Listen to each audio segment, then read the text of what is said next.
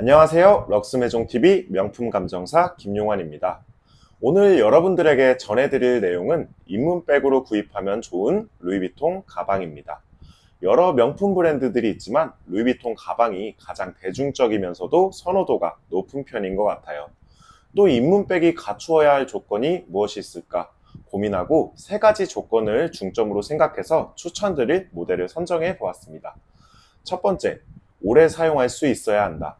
꾸준히 사용되고 있음이 증거가 아닐까 싶어요. 트렌드에 휘둘리지 않을 만큼 꾸준히 사랑받는 가방이어야만 합니다. 두 번째, 제품의 활용성이 좋아야 돼요. 여행 갈 때, 출퇴근할 때, 여러 격식 있는 장소, 범용성으로 여기저기 들고 다니기 좋아야 오래 들게 되겠죠? 네, 세 번째는 가격입니다. 명품백을 소개하면서 가격에 대해 언급을 해야 하는 것인가 고민을 많이 했습니다.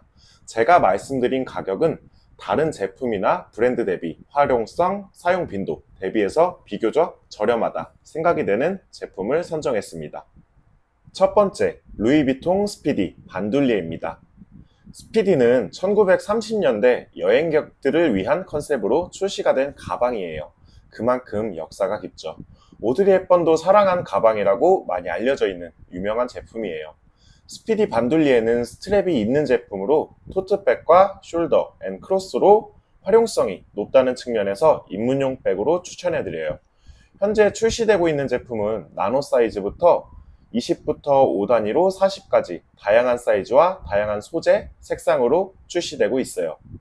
daily로 착용하기에도 무난하며 수납에 큰 장점이 있어 여행을 갈 때 또는 어느 코디에도 쉽게 매칭이 되며 활용성이 뛰어난 장점이 있어요.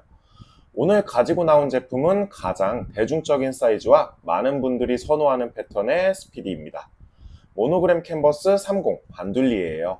오래도록 생산되고 있는 클래식한 패턴으로 되어 있습니다. tote로 활용할 때와 shoulder나 cross로 착용할 때 느낌이 많이 다르기 때문에 적재적소에 포인트를 주기 참 좋아요. 스피디 30 반둘리에는 258만원, 35는 266만원에 판매되고 있습니다.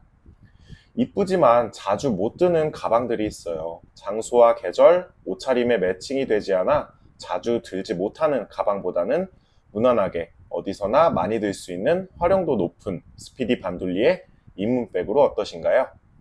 두 번째, 루이비통 로키 비비입니다. 입문백을 선정할 때 비교적 연령대가 높지 않은 점을 생각하지 않을 수가 없었어요. 그래서 선정된 로키 비비입니다. 너무 귀엽지만 정말 활용도가 높은 가방이에요. 공식 홈페이지 가격으로는 290만원에 판매되고 있어요. 미니 사이즈의 가방이 유행인 최신 트렌드와도 적합한 컴팩트한 사이즈, 디자인 역시 클래식한 패턴이라 어느 옷차림이나 무난하게 소화하기가 쉽습니다. 실제 가방을 맸을 때 가방의 shape과 떨어짐이 아주 편안한 가방이 아닐까 싶어요. 가벼운 나들이나 데이트, 출근 룩, 통학 룩에도 크로스백으로 활용할 수 있고 또 스트랩 또한 탈부착으로 할 수가 있어 토트백으로만 사용하실 때에는 크로스백과 전혀 다른 이미지를 연출할 수도 있어 격식이 있는 자리에 들고 가실 때에도 무난하게 들고 다닐 수 있어요. 일상생활 어느 코디에도 활용하기 좋은 맞는 가방이 아닐까 싶습니다. 로키비비의 단점이 하나 있다면 바디 전면 포인트가 되는 금장 자물쇠 장식이 스크래치에 노출되어 있지만 자물쇠 보호 필름을 인터넷에서 쉽게 구할 수 있어 보호 필름을 부착하여 사용하신다면 스크래치 걱정 없이 단점을 보완하실 수 있습니다. 세 번째, 루이비통 네오노에입니다. 네오노에 또한 워낙 인기가 많은 루이비통 제품이라 다양한 소재와 패턴으로 출시되고 있어요. 루이비통 공식 홈페이지 기준 가장 대중적인 모노그램 패턴 제품은 274만원에 판매되고 있어요. 이 네오노의 장점은 수납과 다양한 연출 방법이에요. 버킷백의 특징인 오픈형 가방으로 이것저것 편하게 넣어 다닐 수 있다는 장점이 있어요. 미니백이 가장 각광받고 있는 최근 트렌드에서도 네오노에는 비교적 작지 않은 사이즈임에도 불구하고 착용했을 때 가방 shape이 커 보이지 않고 디자인 또한 샴페인병을 스타일리시하게 운반하기 위해 제작되었던 디자인을 바탕으로 오랜 기간 단종 없이 꾸준히 사랑받고 있는 모델이에요. 스트랩 길이는 shoulder와 크로스백 두 가지로 사용할 수 있는 조절형 스트랩, 이고 숄더로 착용했을 때와 크로스로 착용했을 때 확연히 다른 느낌을 주는 가방이기 때문에 활용도 측면에서도 다양한 상황에서 사용할 수 있는 장점이 있습니다. 유행을 타지 않고 꾸준히 사랑받고 있어서 오랫동안 사용하실 수 있는 가방이에요. 오늘 럭스메종에서 소개해드리는 루이비통 세 가지 제품 어떠셨나요? 입문백을 생각했을 때 활용도가 정말 좋으면서도 한번 구매하셨으니 오랫동안 질리지 않고 사용하셨으면 하는 마음으로 고심 끝에 제품을 선별해 봤어요.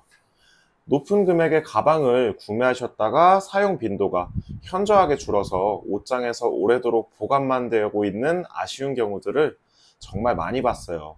앞으로도 우리 구독자님들이 정말 오랫동안 사용하실 수 있는 좋은 가방, 좋은 정보를 가지고 찾아뵙도록 하겠습니다.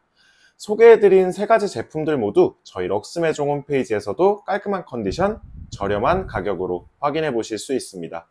오늘도 시청해주셔서 감사합니다. 오늘 영상이 도움이 되셨다면 구독, 좋아요, 알람 설정까지 부탁드립니다. 감사합니다.